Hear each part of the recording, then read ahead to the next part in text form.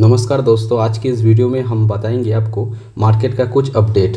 तो कल के दिन कुछ कंपनियों का नंबर डिक्लेयर किया गया था और आज के दिन उस कंपनी का रिएक्शन देखना बाकी था। तो चलिए एक एक करके हम बताएँगे कंपनी का नंबर के प्रति मार्केट का रिएक्शन कैसा रहा। तो सबसे पहले हम बात करेंगे निफ्टी फिफ्टी से। तो देख सकते हैं निफ्टी फिफ्टी गैप आप ओपनिंग हुआ था।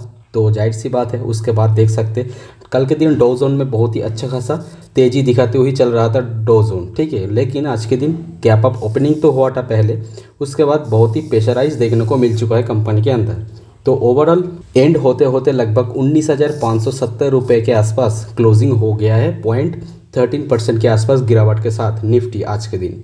और इसके बाद अगर मैं एफआई और डीआई की डेटा की बात करूँ तो आज के दिन देख सकते हैं, एट अगस्त तो नेट बायर रहा डी आई करोड़ का बाइंग किया है और डीआई की ओर से आज सेलिंग भी देखने को मिल चुका है 711 करोड़। ठीक है तो अभी भी कल के दिन भी डीआई ने सेल आउट कर चुका था और आज के दिन भी सेल किया गया है एफआई की ओर से। कल के दिन एक कंपनी का नंबर आया था, जो कि ऊर्जा ग्लोबल एक पेनी स्टॉक है। इसका जो नंबर था, वो बहुत ही शानदार नंबर देखने को मिल चुका था क्वार्टर ऑन क्वार्टर बेसिस और ईयर ऑन ईयर बेसिस ठीक है? दोनों साइड से बहुत ही शानदार नंबर डिक्लेयर किया गया था। लेकिन अब देख सकते हैं, कंपनी का जो ओपनिंग हुआ था, वो गैप अप ओपनिंग हुआ था और उसके बाद लगातार प्रेशराइज देखने को मिल चुका है, क्योंकि ये पेनी स्टॉक टाइप का कंपनी है ना तो कुछ भी हो सकता है।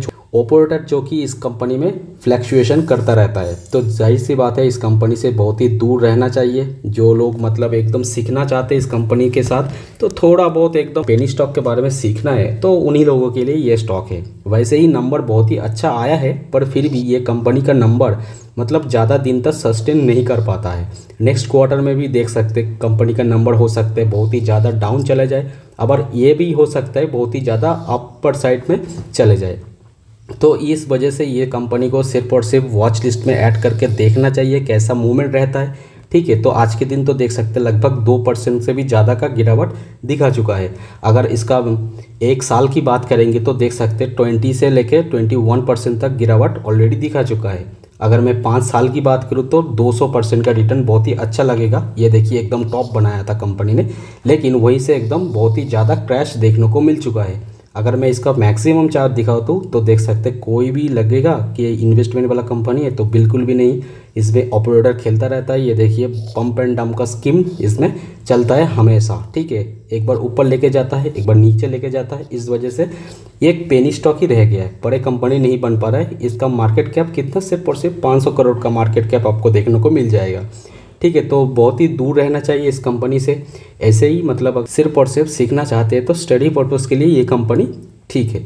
दोस्तों नेक्स्ट कंपनी का नाम है ए डी ए फ्रूट तो बहुत ही शानदार कंपनी है। कल के दिन जो नंबर डिक्लेयर किया गया था, वो मोटा मोटी आप कह सकते नंबर ठीक ठाक देखने को मिला था।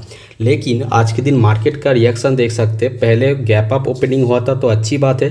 लेकिन उसके बाद एकदम बहुत ही ज़्यादा सेल आउट देखने को मिल चुका था। और उसके बाद एकदम फ्लैट कारोबार होता हुआ नज़र आ रहा है मार्केट पे। ओवरऑल इस कंपनी का परफॉर्मेंस बहुत ही शानदार है। वैसे ही, आज के दिन जैसे एक 1.71 परसेंट का गिरावट तो दिखाई है, लेकिन इस कंपनी का अगर लॉन्ग टर्म के मतलब हिस्ट्री को देखने जाएँगे तो बहुत ही शानदार रिटर्न प्रोवाइड किया है।